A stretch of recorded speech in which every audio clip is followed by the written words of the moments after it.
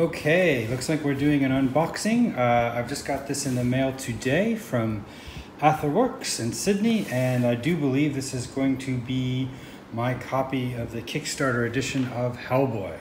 So let's have a look. Box looks like it's in pretty good condition. It's large, hasn't been kicked around too much. Um, between the shipping and however they shipped it back over here, and then a bit of the air mail and a bit of the surface mail.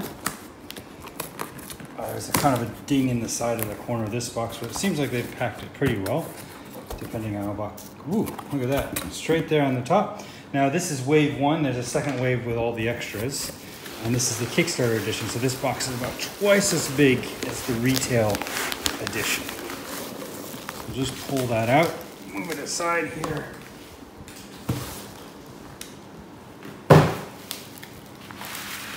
There we go. Get all these things out of the way. And, ooh, already looking interesting. I think that's the back of the box that I'm seeing there. Well, it was. Now it's the side of the box.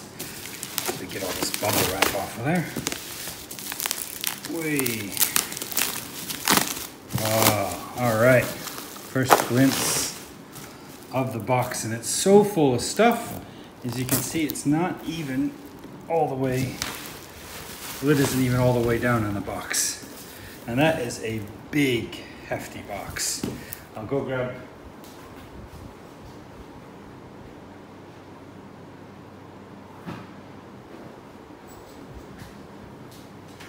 So just for a bit of scale reference, here is Zombicide next to it.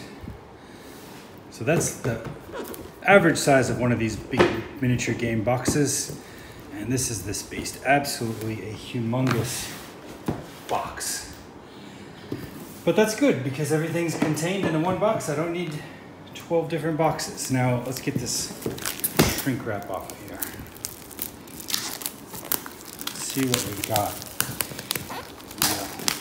So far, nice matte finish with spot UV on the type. Now this is a really big box, as I've said like 12 times already. So one problem is always that it's hard to pull it off. But that's actually slipping off really easily. Pretty standard thickness, so probably for the size of it, I'd want it to be a little bit thicker. But it's all in really excellent condition, well crafted. And here we are inside. So here's a, now I don't remember anything about what's in this box, really, except for Hellboy stuff. So these are the character cards, the playable characters. This is a tutorial, because it is a rather complex game, so this looks like a bit of a walkthrough of a level. This is a rule book that looks just like a comic book. It's the exact size. It's very thick, so I'm going to be playing this one for a while before I fully grasp it, I reckon. Some advertising for other things from Mantic Games. A few really, really nice art prints, I'm now remembering, were included in this one. A color one and a black and white one. Little Mignola signature there, but not like it was done. It's just printed on, it's not like individually hand-signed. Oh, well, that's interesting. Normally these sorts of trays are taped closed, but these ones popping right open. And oh my gosh, look at all of these cards. And these are the case files. The case files are all sealed. You're supposed to not look at them. So we've got the case files, more, ca more case files. They've included some bags, which is a wonderful, nice little thing that some companies will do just to help you out to store things. Ah, I don't know what those are. These are some bases. Here's some standard, possibly American mini or European mini size cards. Here's, oh, I don't even, look at it, I don't even know where to start. This is just the first tray. All right, we'll put that back on there. Really nice quality so far. These trays, pretty good. I've, I've come across thicker ones of this black plastic, so I can see that getting a bit bent out, but it's holding up holding together really nicely as it is. All right, some foam core. Oh, don't know if I'm going to keep that or not. Here are all the boards. There's actually a lot of boards. Let's have a look at those. Open it. So there's a small one, double-sided. And some of these feel like they might be punch boards, but I can't tell yet, so let's have a look. Double-sided, big board. These are really nice quality. Yeah, so these are punch boards. That's a punch board, that's a punch board. That's a punch board. Tokens, looks like some doorways, some bookcases. Ooh, a tentacle. What dungeon isn't is complete without a tentacle hanging out of the corner? That's the Doom track, I think. And another one on the back. Very nice. So straight through there.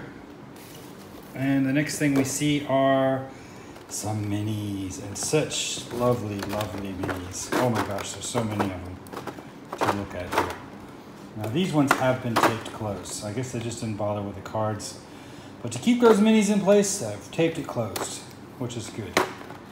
Because they're all where they should be instead of all over the place. Alien Visitor only showed up briefly in like a side story. Look at this jerk. Just, you know, you know when to call it quits. All right, and these are the player busts that you use as tracker tokens. To, for those two different versions of Hecate or Hecate, I don't know how to say it. Very nice. Really, really nice, nice quality miniatures so far. And most of these are playable characters. But this one's not. He's a he's a bad guy. And look at that. Form a little diorama with these two fighting. Boosh. Geez, that looks very, very nice though, doesn't it? Let's just focus on that. The minis are so far gorgeous.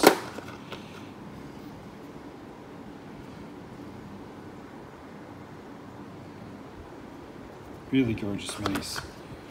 Oh, look at this guy. Iron Boots. He was a stretch goal. I'm not sure if he, I think he's a Kickstarter exclusive. There's a couple exclusives. Monkey with a gun. Look at him. That's lovely. So, haven't had a look at every single one of those. Here's the, the standard Hellboy. This is the one everybody wants to play. Look, just really cool. We've got the movie coming up. I'm definitely going to want to get this game out and prep for that. All right, put that aside. Now here's this one. This is this one. Maybe I'll go this one next because I can get to it. It's so deep. What's going on here? Something is sticking. I'll take this one. Ah, because there's some foam core in there. Right, more tape holding this one together. Uh, these are the big monsters, the big baddies. What's this one? The Death Grub, extra dimensional cosmic being of ultimate horror that you can punch and kill. All right, so this one contains most of the most of the main villains. So in the in the base set of this in the retail edition, I think it just comes with these two, and then these ones here are all extra, and they're cool as there's a uh, Saint something or other's dragon, this gigantic cybernetic Nazi gorilla. So I'm gonna focus on him a bit better. Look at him. So much lovely, lovely, and that is a big miniature. Really, really, really nice. All right. Look, everybody's favorite witch, Baba Yaga, with her wooden legs, off to cause trouble in the land of Russian folklore. All right, and that's ten- this is just tentacles coming up through the floor. So that's one of the monsters you have to fight. The tentacles from the floor. Really nice. Okay, we'll set that aside. Now this tray here looks like there's about two more trays. Here's all of your, uh, what do you call it? Smaller villains that come with a base set and some other things. There's some Kickstarter extras as well. So here's all the dice, and those actually are really nice. There's one of the things I was less excited about with this one because all the images that we got shown early, they looked a bit a bit dull, but the dice themselves are about as nice as dice can be. Shiny, smooth, well balanced, a good size, 16 millimeters. I like them. Now, here are some swarms of frogs. So you get a bunch of those. I'm not sure if those, I think those might be tokens in the game. And look at these. Another thing I wasn't overly excited about, but look at that. That's fire, as you know. It's a fire token. In the retail version, I think that's just a cardboard token. Still cool. And here's all of our so that's half a frog. So that's a, a normal human, halfway to being a frog. Who looks a bit more like, here's a full frog. I still got some clothes on. Just, you know, caused oodles of problems for Hellboy and the BPRD. And here's some cool tokens. Look at that. There's the Fist of Doom. It's just a tracking token. So these are nice. In the base game, or the retail edition, these are represented by tokens, but in the Kickstarter edition, we get these cool points of interest. So these are things you put out on the map that you're then able to investigate, like this Nazi corpse. Just a little bit of extra that makes your tummy feel warm. What's this? Little tiny discs with the BPRD symbol on them. Another some form of tracker. I like it. There's a bunch of those. have to be careful not to lose those ones. All right, I think this might be the last. No, there's another one. Gee whiz. All right, so this one looks like it's mostly extras. So there's a couple of expansions for this game that will be available in retail, and two of them are in this box. So one of them is um, something of doom, seed of destruction, uh, which comes with a bunch of Nazis who are cool. And also, I'm told well, that gluing is not the best. What are you doing, Nazi? Somebody, let's see if they're all like that. Hmm. It's all right. Here's one that doesn't have so many pieces. There you go. That's better. This one's not a Nazi. It's an evil turkey. That was a Kickstarter extra from the Hellboy in Mexico, which is another expansion that's not this. Uh, here's one of the, my favorite playable characters, uh, Roger the Homunculus. He's a man who's been created by an alchemist, um, and he's cool. Crab, Crab Johnson. What is his name? Lots of Nazis here. Just got their little machine guns and their gas masks. They're cool, and they cause a lot of troubles. And a few more busts. So there's uh, Lobster Johnson, and there's Roger the homunculus. So you can track their score. I don't know what those are for. They're, they're tracking something on the game other than what's in the actual game board. And here's our last one. Now this is the second expansion that comes in the in this box, but in the retail edition is sold separately. Uh, what's it called? It's um, case BPRD case files or something like that. But basically, these are just a mishmash of extra monsters, and you can use them to sort of create your own adventures. So there's some werewolves. Actually, not too bad as werewolves go. They're a hard one to do. Yeah, he's a nice howl. Here is a giant evil bird. Put him next to the werewolf for scale. He's not a normal size. Here's a normal wolf to even give you an even better sense of scale. So imagine that's what a wolf is like. And it's a big giant bird, so that's a big bird. Here's a swarm of bats. Very nice. Here is a witch. And what collection of monsters are complete without some harpies.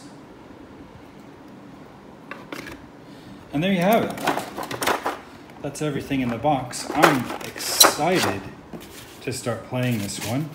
Um, if you want to see all the cards, put a post in the comments and um, I can flip through them. But there's a lot of them there and I'll make this video a bit longer than it needs to be if I start flipping through all of that.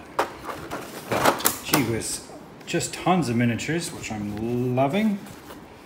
Really nice quality components. These boards are looking great.